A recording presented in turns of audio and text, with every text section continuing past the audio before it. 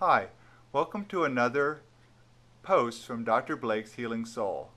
Today Liz is going to demonstrate probably the best exercise ever invented.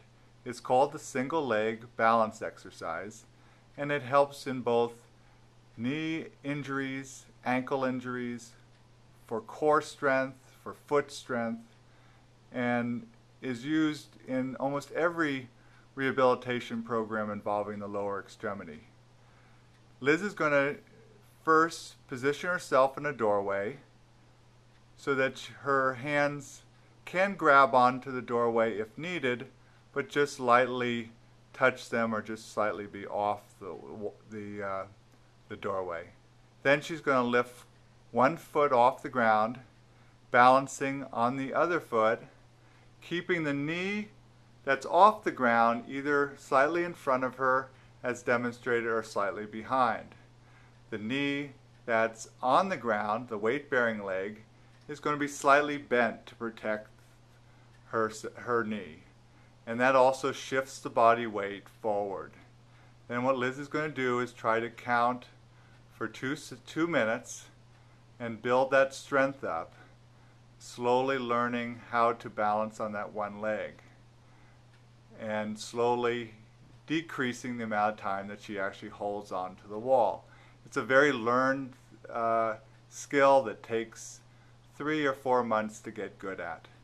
Now as Liz gets better, she's going to begin to close her eyes.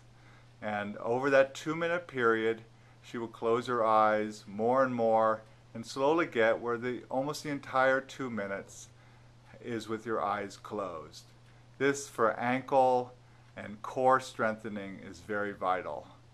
Now, there's a couple versions of this that can that can speed up your ability to use your ankle to its fullest. One is to you do the exact same exercise, but take a heavy object, and I love basketball, so Liz is using a basketball.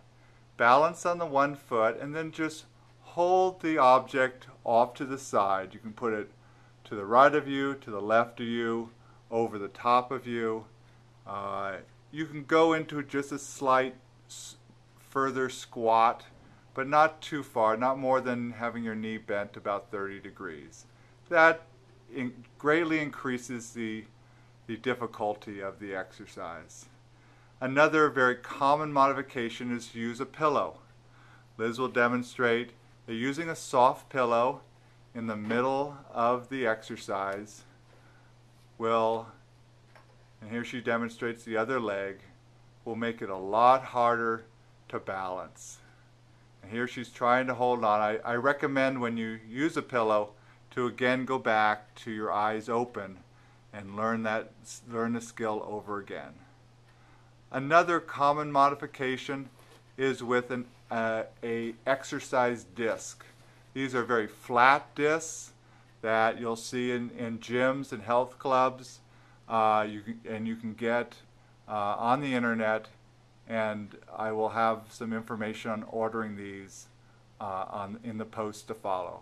But here again, do not first do this with your eyes closed. Do it with your eyes open and learn to balance uh, in this way.